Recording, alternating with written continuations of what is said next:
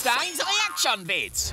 Welcome to my channel, Einstein fans. It's your boy Albert with another kooky science reaction vid. This one is all about electricity. Ooh, this is exciting. You see that thing that looks like a big metal mushroom? It is not one. You should not touch it or eat it. It is a Tesla coil, and it creates a lot of electricity. Electricity is the flow of tiny little electrons.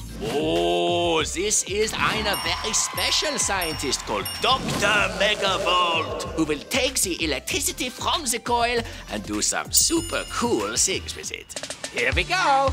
It's charging up, but what's he gonna do with it?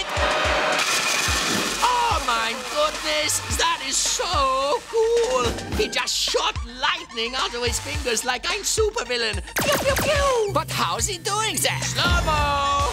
The Tesla coil supercharges all the air around itself, and that causes electricity to leak out into the air. And that electricity needs to go somewhere. And the easiest place is into Dr. Megavolt's fingers because he is wearing a metal suit, and that is a great conductor. Whoa, amazing! Look at that electricity being conducted through the metal staples. Ooh, that is hot! Do not do this at home. These guys are very serious professionals.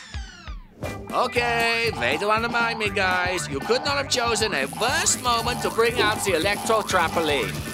But seriously, that is really cool. Tongue battle time! Okay, time to go. But remember, don't play with electricity unless your name is Dr. Megavolt and you have a big metal suit like that one. Einstein, zapping out!